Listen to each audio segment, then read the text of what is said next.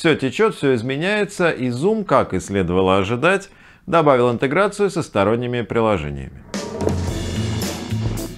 Всем привет, с вами Вова Ломов и Теплица социальных технологий. Этого следовало ожидать, поскольку интеграция со сторонними приложениями – отличительная черта крупного, востребованного бренда. Это работает, кстати, и в обратную сторону. То есть, когда бренд становится крупным и востребованным, в нем появляются интеграции со сторонними приложениями.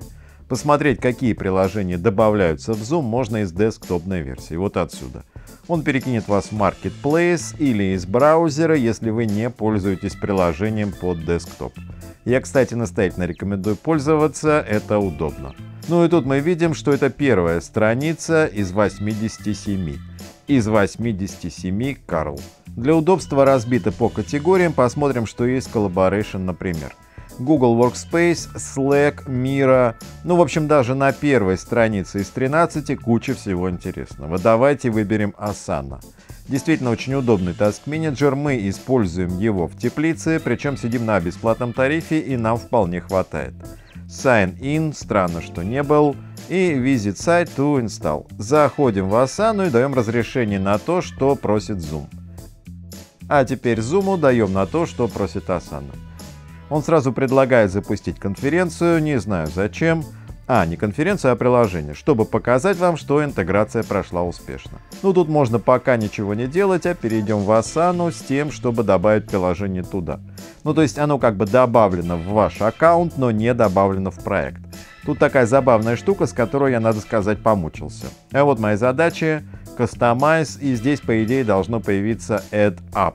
Но оно не появляется, потому что Zoom добавляется к конкретному проекту, а не ко всему аккаунту. Ну, то есть, вот здесь уже в Customize есть Add Up.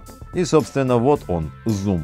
Connect to Asana, окей, опять же разрешаем, разрешаем, и вы добавили Zoom в проект. Давайте посмотрим, что теперь можно делать. Первое очень, на мой взгляд, полезное. Теперь вы можете создать конференцию Zoom прямо в задаче. То есть создать новую конференцию.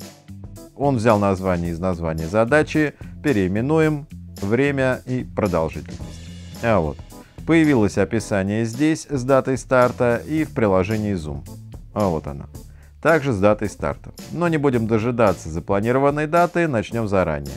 Мы посмотрели, что предлагает Zoom внутри Asana. Теперь посмотрим, что предлагает Asana внутри Zoom. Для того, чтобы посмотреть все доступные интеграции и запустить нужную, мы переходим в приложение.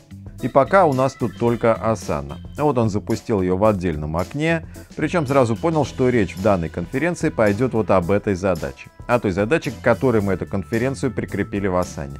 А значит, все, что мы хотим обсудить на конференции, можно заранее добавить в задачу в качестве описания или action item, то есть пунктов действия или вопросов. В данном случае вопросов к обсуждению. И наоборот, все, что мы обсуждаем на конференции, можно сразу добавлять в задачу, опять же в качестве описания. Или опять же пунктов действия с назначением ответственных и датой исполнения. А также заглянув внутрь, можно добавить описание к пункту и пункт пункта, то есть подпункт и под вопросы.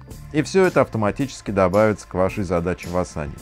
Ну и в Asana же вы можете с этим в дальнейшем работать. Вернемся к конференции Zoom. Она у нас еще не закончена, наоборот, она только стартовала. Кроме работы с данной конкретной задачей, мы можем добавить еще задачу, уже отдельную. Это делается так. Ну, в общем, так же, как и в Asana. И в этой новой задаче есть также свой action item и question. Ну и дальше можно создавать еще задачи, если вдруг в процессе совещания они появятся, а такое, согласитесь, случается. Ну и в Asana эта новая задача также появляется отдельно, но с привязкой к этой конференции, чтобы вы вспомнили, откуда эта задача взялась впоследствии. Завершим конференцию. В описании задачи теперь написано, что она закончена. И попробуем создать новую задачу, подключив к ней уже запланированную конференцию. Такое тоже бывает запланировали конференцию в Zoom, потом поняли, что она относится к какой-то задаче в Asana. Для этого вам нужен ID конференции. Я думаю, все знают, где его взять, но на всякий случай покажу. Заходим в Zoom. Вот я запланировал второе совещание, и вот его ID. Вставляем Add, и он подхватывает все настройки из запланированной конференции. Название, время, хост. Я думаю, не имеет смысла рассказывать про все интеграции, но, возможно, про некоторые потом расскажу все-таки отдельно. Все любите друг друга, все-таки всякие дополнительные фичи с одной стороны утяжеляют продукт, с другой делают его более удобным, если, конечно, с ними удается разобраться. Подписывайтесь на наш канал, оставляйте вопросы в комментариях к этому видео и пишите нам о том, что еще вы хотели бы узнать у теплицы социальных технологий.